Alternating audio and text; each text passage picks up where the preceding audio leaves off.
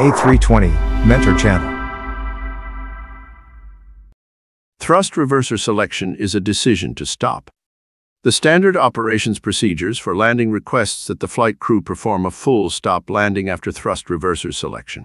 However, in-service flight data analysis revealed that the equivalent of one go-around per month is performed after selection of thrust reversers. This briefing describes an event where the flight crew performed a go-around after they had selected thrust reversers on an A320 aircraft. The reverser on one engine remained deployed until the end of the flight. The article explains how adherence to standard operations procedures will prevent recurrence of this kind of event and describes the product enhancements that Airbus developed as additional safety barriers. Case Study Event Description an A320 aircraft fitted with CFM56 engines was on an ILS approach in flap 3 configuration with good visibility conditions. There was a 25 knots crosswind and wind gusts from the left side.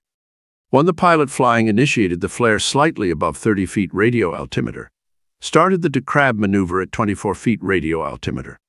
2. Set the thrust levers to idle at 11 feet radio altimeter. 3. The left main landing gear briefly touched the runway, but was not fully compressed when the flight crew set the thrust lever to maximum reverse. 4. When both the left and right main landing gear touched the runway and were compressed, the thrust reversers began to deploy. 5. The flight crew then decided to perform a go-around. The left main landing gear was briefly uncompressed when the pilot flying applied toga thrust. They selected configuration 2 and applied nose-up inputs. 6. Engine 2 spooled up to reach toga thrust, but engine 1 remained at idle with the reverse indication still displayed on the engine warning display. The aircraft began to veer to the left. The pilot flying reacted and applied half of maximum right rudder input. Both the left and right main landing gear were briefly compressed again. 7.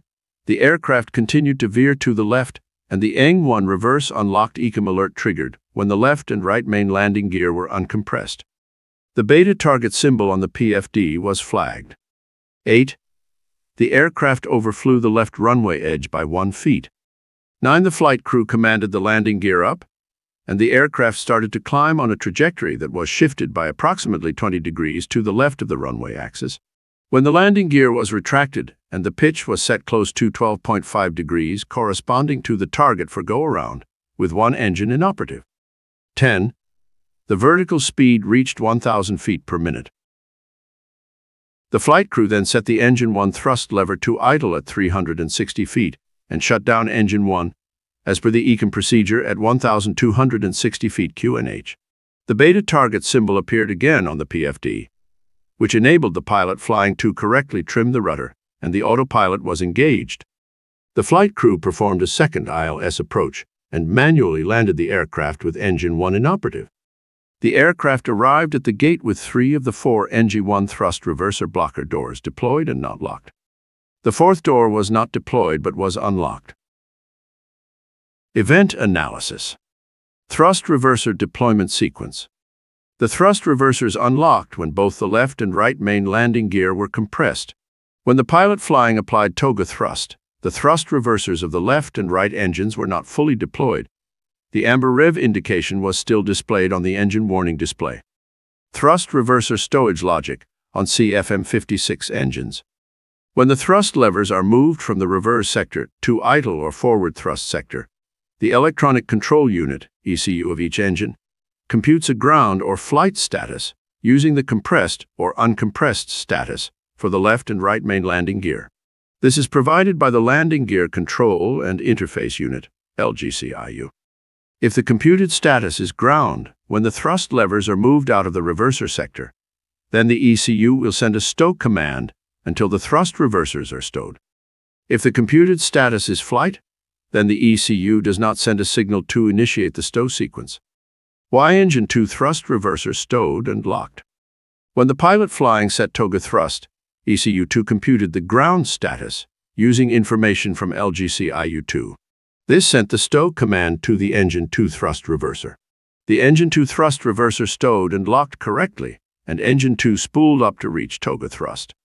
Why engine 1 thrust reverser did not stow and lock. When the pilot flying set toga thrust, ECU-1 computed the flight status using information from LGCIU-1. The ECU-1 did not send a stow command to the Engine 1 reverser, and its blocker doors remained deployed. The automatic idle protection activated and sent a signal to prevent Engine 1 from increasing thrust. What caused the difference between Engine 1 and Engine 2? A short asynchronism between the computation of the ground flight status by both ECUs combined with a bounce of the left landing gear explains the different behaviors of the ECUs. This timing difference can be explained by the fact that thrust levers may not be closely aligned when the flight crew moves them from the reverser sector to idle or forward thrust sector. In addition, a very slight delay may appear between the signals and computation chain of LGC IUE IUECU, which are independent for the left and right sides. Limited to aircraft with CFM56 engines. A study of the reverser stowing logic was performed on a 320 aircraft, equipped with all other types of engine. It confirmed that only a 320 aircraft equipped with CFM56 engines can be affected by this potential for the thrust reversers to not retract if the crew decides to perform a go-around after the thrust reversers are selected. Beta target not displayed due to EIS logic. The current EIS logic flags the beta target symbol on the PFD if the reversers are not stowed and the auto-idle protection is active. This is explains why the beta target symbol was flagged in the early stage of the go-around and before engine 1 was shut down. As soon as engine 1 was shut down, the beta target reappeared on the PFD. Impact on aircraft control and performance. The flight crew had to cope with a fast lateral trajectory deviation, together with a significant degradation of climb performance during an already demanding maneuver. Significant pitch and roll values reached close to the ground. In the initial phase of the go-around, the aircraft attitude went close to wingtip and tail strike conditions, but remained within the ground clearance limits. Operational considerations. Adherence to the standard operations procedures for landing will prevent the recurrence of a similar event and ensure optimum and safe use of the thrust reversers, regardless of the engine type and on any aircraft. Select reversers immediately after the touchdown. The standard operations procedures for landing requests that the flight crew select thrust reversers immediately after landing gear touchdown, but not before, to ensure timely deployment of the thrust reversers for optimum aircraft deceleration on landing. Thrust reverser selection means full stop. The standard operation procedures for landing also states that as soon as the flight crew selects reverse thrust, they must perform a full stop landing. This is also highlighted for a go-around near the ground in the FCTM, which states, the pilot flying must not initiate a go-around after the selection of the thrust reversers. Adherence to this standard operations procedures will avoid any repeat of the event described in this article.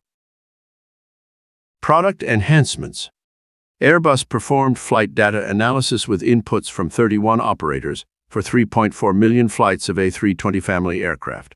The results showed that the equivalent of one go-around per month is performed with the thrust reversers already selected, which represents significant exposure.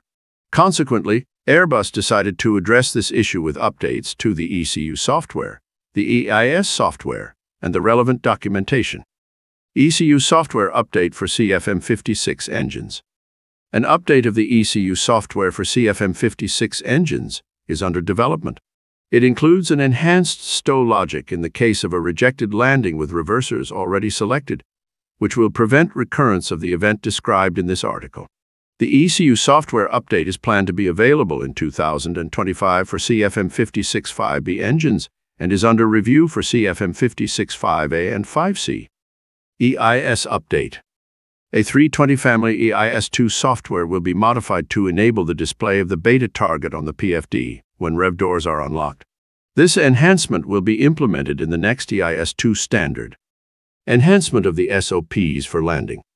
The SOPs for landing will be updated to move the following text from the FCOM Layer 2 to a note in the FCOM Layer 1, making it more visible to the flight crew. The flight crew must select reverse thrust immediately after landing gear touchdown and, as soon as the flight crew selects reverse thrust, they must perform a full stop landing. The SOPs for landing states that as soon as the flight crew selects reverse thrust, they must perform a full stop landing. Analysis of in-service data shows that there is still a risk exposure with flight crews deciding to perform a go-around after the thrust reversers were selected. An incident that happened on an A320 aircraft highlighted a risk of having one of the engines with the reversers still deployed in the case of a go-around initiated after reverser deployment on aircraft equipped with CFM56 engines. Application of the SOPs should prevent this kind of event from happening. However, Airbus decided to introduce aircraft modifications to further prevent this scenario from happening and enhance the documentation by making the recommendation to perform a full stop landing after selection of thrust reversers more visible to the flight crew.